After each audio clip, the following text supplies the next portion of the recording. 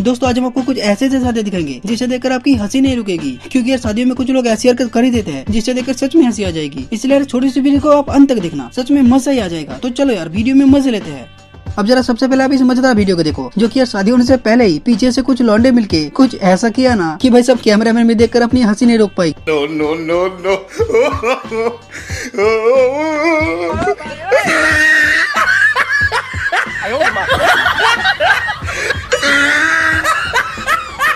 यार, ऐसे कौन करता है? लगता है यहाँ शादी नहीं, लड़ाई हो रहा है।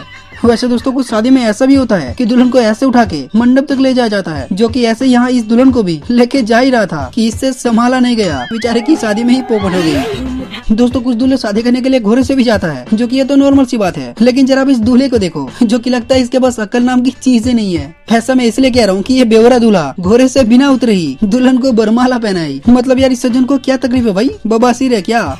यहाँ जरा इस दूल्हा दुल्हन के साथ, जरा इस रेडीमेड बच्चे को भी देखो, जो की यार दूल्हे को दहेज के तौर पर मिला है। चलो, अच्छी बात है। कम से कम ये दूल्हा ये तो कह सकता है की मुझे दहेज के तौर पर ये प्यारी सी रेडीमेड बच्चा मिला है, और बच्चा भी बड़े होके यही कहेगा, अरे देवा, मैं तो अपने बाप के साथ में भी गया था रे। ये गड़बड़ बाबा दोस्तों आजकल के जमाने में अगर आपकी शादी किसी सोशल मीडिया पे रील्स बनाने वाले के साथ हो जाए ना तो फिर शादी के दिन ही ये ऐसे ही करने वाली है। भाग जा नहीं बाबा नहीं। अरे जा जल्दी भाग जा नहीं बाबा। जिसमें आप पॉपुलर तो बात की बात पहले आपकी बेइज्जती हो जाएगी। यार फ़िलहाल ये दूल्हा यही सोच रहा है। क्या करूँ मैं इसका? क्या करूँ? और ऐसे ही जरा इस पापा की परी से भी मिल लो जो की ये भी शादी के दिन ही घर पहुँचने ऐसी पहले ही रास्ते में ही अपनी रील्स बनाने लग गए। और तो और ये ऐसे ऐसे एक्सप्रेशन दे रहा है ना कि भाई हमें तो कुछ और ही लग रही है। समझ रहे हो? समझ रहे हो?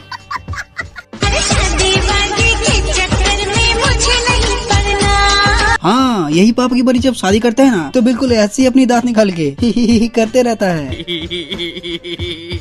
अब जरा इस पापा की बड़ी को देखो, जो कि यहाँ दूल्हा इसे मिठाई खिला रहा है। लेकिन नहीं, ये खाने को राज़ी नहीं है। यार, पता नहीं है पापा की बढ़िया बाकी दोनों के मुकाबले ज़्यादातर अपनी शादी के दिन ही चुड़ैल जैसी बिहेव करती है। यार, ये सब नखरे ना, लड़कियाँ ही दिखाती है। जबकि अगर दूल्हे को खाने दिया जाए ना तो फिर ऐसे ही बहुत ही आराम से बैठ के खाएँगे। और इसके बाद दुल्हन को ऐसे ले जा सकता है। ये कहा जा रहा है आप समझ रहे हो ना? यहाँ जरा इस लौंडे को देखो, जो की ये दूल्हे को जब जब खाने के लिए अपना मुँह खोलने के लिए कहती है, ये खुद ही खा जाता है। जो की ऐसे करते करते दूल्हे को इतना गुस्सा आ जाता है की ये अपना मुँह खोलना ही बंद कर दी।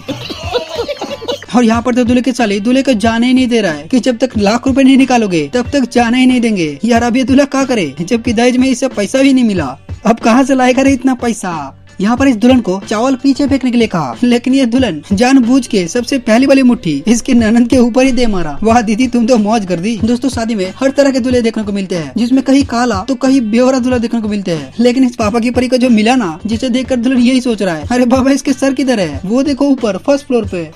यार भाई, देख लो, इस दुल्हन का तो माला पहनाने के लिए जैसे भी मंगवाना पड़ेगा। यहाँ दूल्हा दुल्हन को आशीर्वाद देने आए, इस चचा को देखो, जो आशीर्वाद तो दे दिए, लेकिन चचा को देना था पैसा। इसलिए चचा वही परी पॉकेट से पैसे नहीं निकाले, बल्कि अपनी हवेली से पैसे निकाले। वह चचा, तुमने तो मौज कर दी। दोस्तों, किसी शादी में ना, दुल्हन के साथ साथ कोई और भी होता है, जो होता है बॉयफ्रेंड जो कि बेचारा देखते ही रह जाता है, और इसके सामने ही सरकारी नौकरी वाला लौंडा आके दुल्हन को ले जाता है। मतलब यार, आप ही देख लो, कैसे नज़रों के सामने ही सरकारी नौकरी वाले दूल्हे किसी की चाहने वाली को लेके चला जाता है। अब इसे देखकर लौंडे तो रोएँगे ना। अब यहाँ देखो लगता है भाई की अपनी चाहने वाले के साथ शादी हो रही है। तभी तो भाई इतना खुश दिख रही है। यार भाई सच्ची बता रहा हूँ भाई की खुशी देखकर अपना दिल दिल गार्डन गार्डन हो रहा है। यार देखो भाई अगर कोई लड़की ऐसे क्यूट हो ना और किसी के साथ प्यार ब्यार भी नहीं किए हो वो इसीलिए कि अपना बाबू किसी हैंडसम गोरी चिट्टी के साथ शादी कराएँगे। बस फिर क्या यही ख्वाब देखते देखते जब शादी ऐसे खजूर के साथ कर देती है ना तो फिर दुल्हन ऐसी रिएक्शन देगी।